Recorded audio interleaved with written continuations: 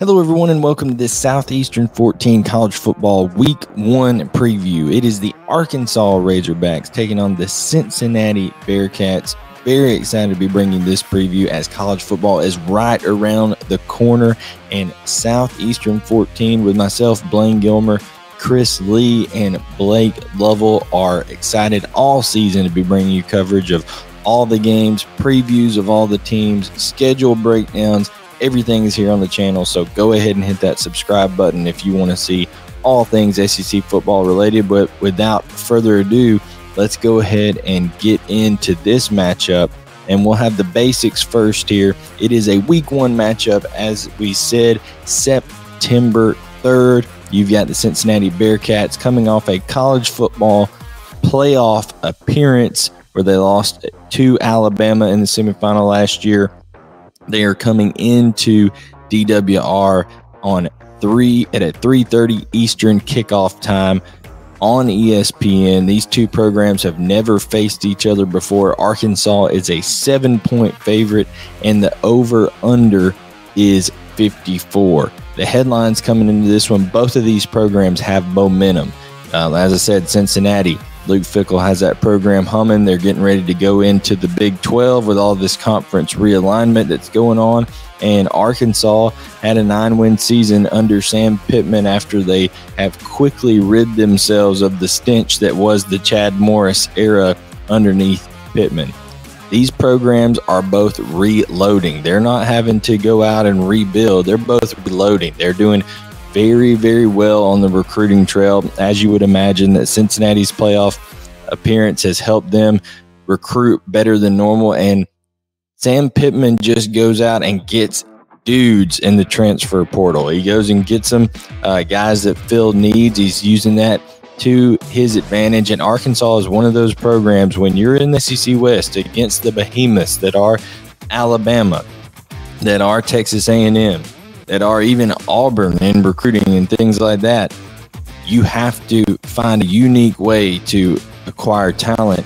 And Sam Pittman is getting it done on the trail, just straight up beating some teams in recruiting, but he's also doing his thing in the transfer portal. So both these teams are reloading.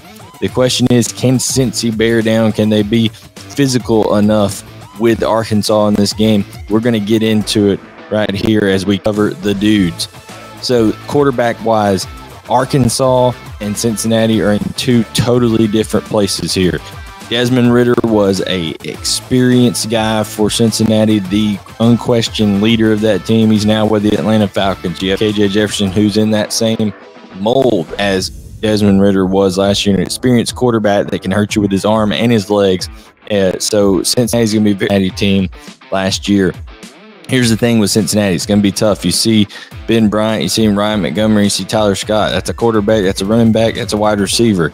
They lost their top three, uh, their top player at all three of those positions. Desmond Ridder, gone. Jerome Ford, gone. Alec Pierce, gone. So Tyler Scott, Ryan Montgomery are going to have to step uh, step up at the wide receiver and running back position, respectively. Leonard Taylor is a big tight end. This is a guy who's 6'5, 6'6 in that 250 pound range, can do some really good things. And, you know, when it comes to a team that doesn't have a starting quarterback returning, that tight end a lot of times can be a security blanket. And it's not just Leonard Taylor, it's also Josh Whyle that uh, comes back. Both of these guys, 26, 28 catches. So look for them to be a factor in this game. But the big thing for Cincinnati is they're returning all five offensive line starters. So if you have any st- instability in the skill positions, if you can rely on that kind of stability, so many returning starts combined with that unit coming through there, this is going to be one of Luke Fickell's best units up front and is going to be one reason that that if they stay in this game throughout all four quarters, that will be the reason why. As far as the playmakers for the Arkansas Razorbacks, you see Rocket Sanders not listed here as AJ Green, Dominique Johnson. It is a three headed monster at the running back position, and Arkansas can straight up run the football. They average just under 230 rushing yards per game. And guess what? They've got four returning starters on the offensive line in their own right. Everybody knows Stromberg, everybody knows Beaux Limmer. Now they're going to be trying to get Luke Jones right over at that left tackle spot. The only guy that is not a returning starter. He did play in all 13 games a season ago. He's a transfer from Notre Dame early on in his career. And they lost Treylon Burks. That's the big question for Arkansas. Treylon Burks accounted for a lot of that Arkansas receiving production. He was the number one receiver by a long shot, 1,104 yards compared to Tyson Morris, who was also gone. He was the second leading receiver with 337. So, and it, again, you look at the balance. Treylon Burks had 66 catches last year, and Tyson Morris was second with 24. Again, both those two are gone. They're going to be looking at guys like Warren Thompson to step up. They're going to be looking at guys like Ketron Jackson to step up. But these two names you see on the screen, I said before, they reload at Arkansas. They went out and got Jadon Haslewood, Jimmy Smith, is the running back coach at Arkansas. He had a connection from his days of coaching Haslewood at Cedar Grove out of Ellenwood, Georgia. And then another Georgia connection, Matt Landers comes in. Haslewood and Landers are two guys that Pittman mentioned over and over at SEC Media Days that he's looking to perform here for this offense. So, two big receivers have length, can make catches in traffic. Matt Landers was a Georgia guy uh, University of Georgia guy when Sam Pittman was there. He had some struggles. He goes off to Toledo, ends up having a breakout year, and now that confidence is at all time high for Matt Landers. Big time red zone threat, six foot five, got long arms, can really you know win those one on one battles. So look for Haslewood and Landers to make a big difference on this in this Arkansas passing game. Now, defensively for these two teams, Deshawn Pace is a guy for Cincinnati that really steps in at linebacker after Cincinnati loses two starters from last year in Joel Dublanko and Darrian Beavers from a year ago. But you look at Deshaun Price, he only started four games last year, yet he was very productive in a, even in a backup role. He had 95 tackles on the year, good for fourth on Cincinnati's team, and also had four interceptions last year. Also, a fumble recovery. This guy just knows how to be around the football. Bearcats also return Arquon Bush at their nickelback position. He started 12 of their 13 games a year ago, had three interceptions in his own right, defended six passes. Arquon Bush is a guy that they can bring down into the box. He can play coverage on slot guys. He is physical, yet he is good in the pass coverage. So Arquon Bush is going to be a key pivotal guy for Cincinnati in this one. They've got a young guy coming in, JQ Hardaway, out at the corner. And when you talk about that Cincinnati defense last year, a lot of the attention went to Sauce Gardner and Kobe Bryant, both guys in the NFL, two outstanding quarters. So JQ Hardaway has some big shoes to fill, probably being the boundary corner for the Bearcats coming into this one.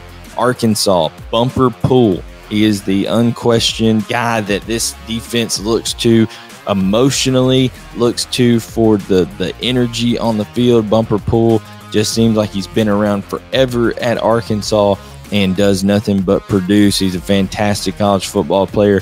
Bumper Pool returns once again to be kind of the, the, the center of that defense. Jalen Catalon comes back off of injury, uh, and it can't be overstated how talented and how good of a fit Jalen Catalon is. They really missed him last year when he went out with injury, but he looks to be healthy this year. So look for Jalen Catalon to do big things for the Arkansas Razorback. Drew Sanders comes over from Alabama. This is a guy that Sam Pittman just absolutely raved about at SEC Media Days, how he's just a good fit with this Arkansas program, and they were very excited to have him. Dwight McGlothern is a guy that Sam Pittman said if there was an award, a preseason award for talking, for being a trash talker, for someone who has high confidence, Dwight McGlothern would win that award. McGlothern is a guy who started six games for the LSU Tigers a year ago. He now comes over, stays in the SEC West with Arkansas. He had a interception and a touchdown to his credit last year, McGlothern looks to be a guy along with former Georgia defensive back and versatile player Latavious Brini He comes in. He's also, like I said, transferred in. He was a guy that was under Sam Pittman at Georgia, just like Matt Landers was. So some familiarity there between the head coach and the transfer in in Latavious Brini. And when it comes down to it, Landon Jackson may be one of the most important guys that they brought in, a true edge rusher from LSU that is going to help replace a lot of production they lost up front. So let's look at our score prediction. The spread was minus seven in favor of Arkansas. We're going to give them a 10 point edge here over Cincinnati. We think Arkansas takes this one 31 21. Razorbacks over the Bearcats. We got the new hogs that are coming in that are going to make a difference here. Jadon Haslewood. you've got Matt Landers. I think that passing game is going to be a little bit better than people think. They think just because Treylon Burks is gone, just because Tyson Morris is gone. But I think you're going to see some some good production out of those guys on the outside. And then, of course, DWR is going to be rocking Arkansas's offensive line, I think, is just going to be more physical than what Cincinnati returns up front defensively.